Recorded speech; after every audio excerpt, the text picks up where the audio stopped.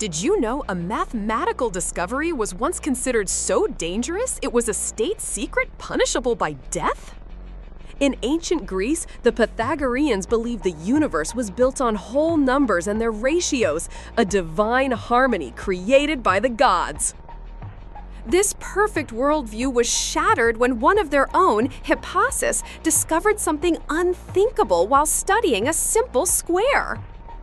He proved that the diagonal of a square produced a number, the square root of 2, that could never be written as a simple fraction. This discovery of irrational numbers was a mathematical heresy, suggesting the God's perfect creation had a fundamental flaw.